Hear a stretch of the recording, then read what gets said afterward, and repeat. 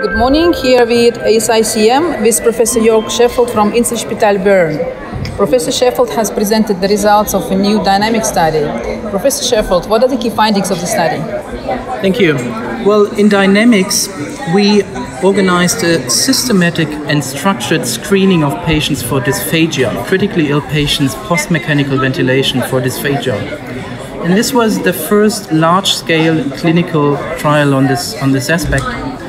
And what we basically found was that dysphagia is often observed on the ICU. Actually, was observed in 10.3% of patients discharged from the ICU alive. And we observed that dysphagia persists mostly in patients that are discharged from the ICU with dysphagia. And that was quite interesting because actually it, um, it persisted in, in 60% of patients until hospital discharge. And furthermore, I think that dysphagia is currently an under recognized topic, and uh, this also applies to research, uh, especially. Professor Schefold, what are the clinical consequences of dysphagia?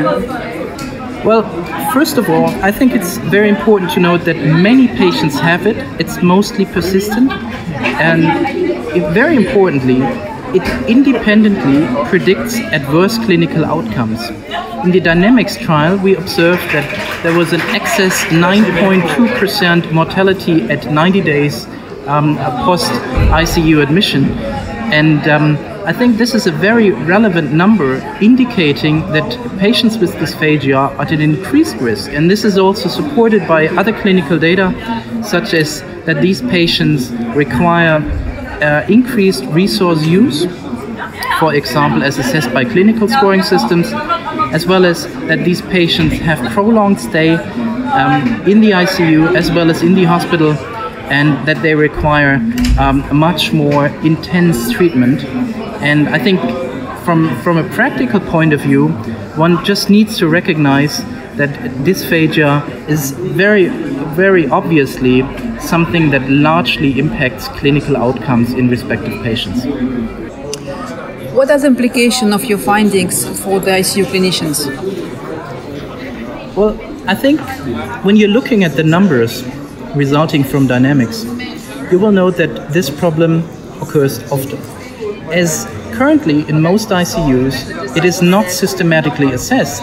I think there's a clear need for systematic assessment of respective patients. And we proposed a two step screening algorithm or clinical algorithm to, first of all, detect respective patients so that we recognize patients at risk.